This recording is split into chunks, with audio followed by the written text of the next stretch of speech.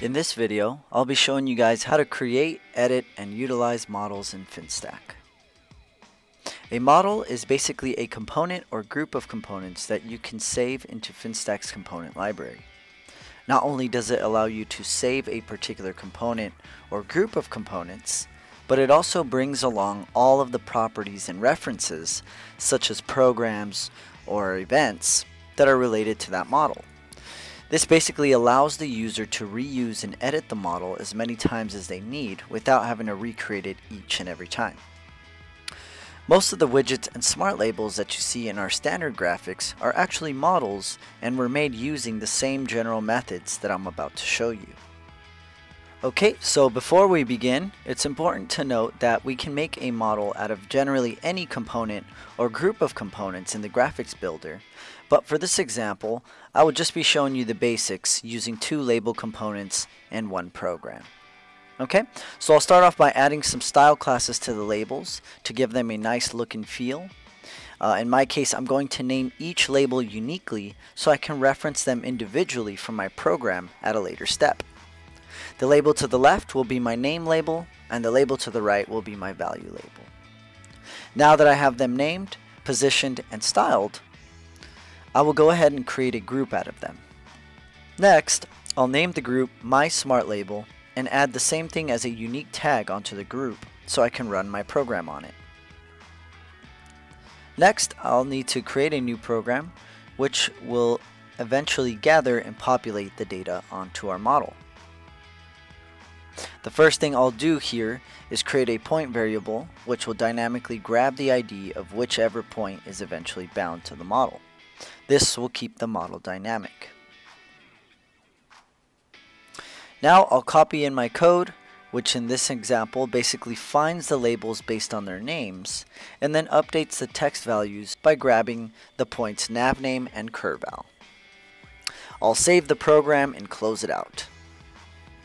Now that we have our group and program set up, we can save it as a model by selecting the group and clicking on the Save button in the Properties panel. As soon as the model is saved, it will create a brand new model component in the Components panel. To demonstrate this, I'll go back to my VAV graphic and scroll all the way down to my model category within the Components panel. At the very bottom there is my custom model called My Smart Label. You can drag your model in just like any other component and it will instantly populate. So not only did the model bring in the group of components that I saved, but it also automatically brought in the program that was referencing the model when it was saved.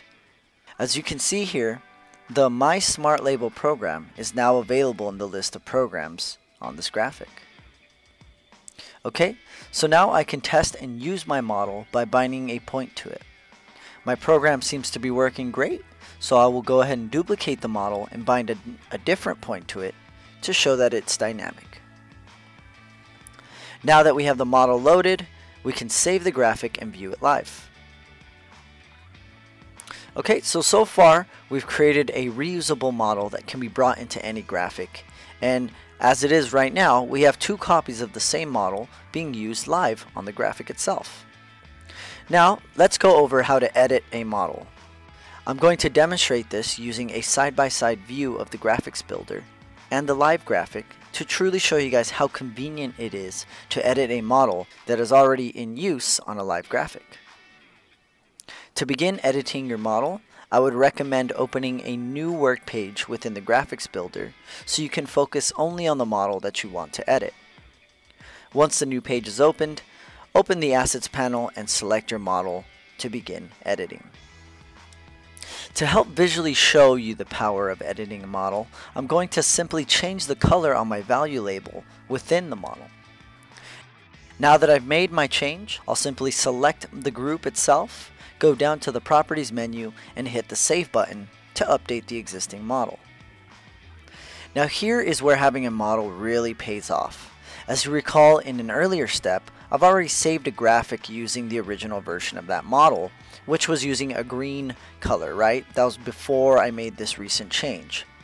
So the beauty of this is I don't actually have to go into each of my graphics and and you know drag out a new model. all I have to do is refresh the page and voila, the model automatically references and loads the latest version of the model. So if you've already created a hundred graphics using the same model and you suddenly need to make a change to the model, all you have to do is edit and save the model file and it will automatically update every copy of the model that's already in use. Another great part about models is that they can be downloaded and used across any of your projects as is. To download a model, all you need to do is open the Folio app, select the backup option, run a search filter for a fin model, select the model you want to download, and then hit backup to save it onto your desktop. Once you've got it backed up or saved on your desktop, you can transfer it any which way just like a regular file. And when you're ready to upload it to another Finstack server, all you have to do is simply open up the folio on that project and select the restore option. This is a huge feature that can save you hours of engineering time. Imagine creating all of your common models and uploading them onto all of your future projects. It really saves you a lot of time, especially when it comes to graphics. So this is one of our favorite features and we hope you like it too. That pretty much covers all of the basics on how to create, edit, utilize, and back up a basic model. But before we close off this tutorial, I would like to add in a bit of a more advanced topic when it comes to creating models, especially models with labels or components that you would like to be able to dynamically stretch or be dynamically adjusted by the user when creating the graphic. The model as it is right now cannot be stretched.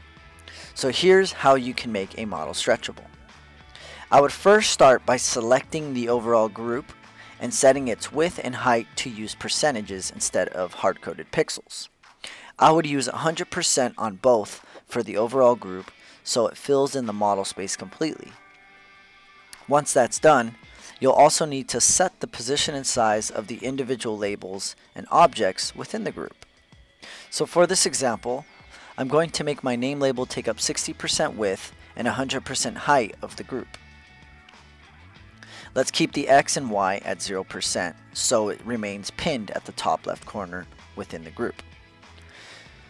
Now for the value label, let's place the X location to be at the 60% axis of the group and the Y to be at the 0% axis.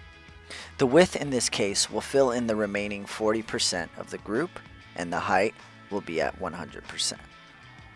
With the percentages set, the model should now be able to stretch before I save this one, I'm going to change the color to the default blue and rename the group to a new name. Once that's done, I'll go ahead and use the Save As button to create a completely new model.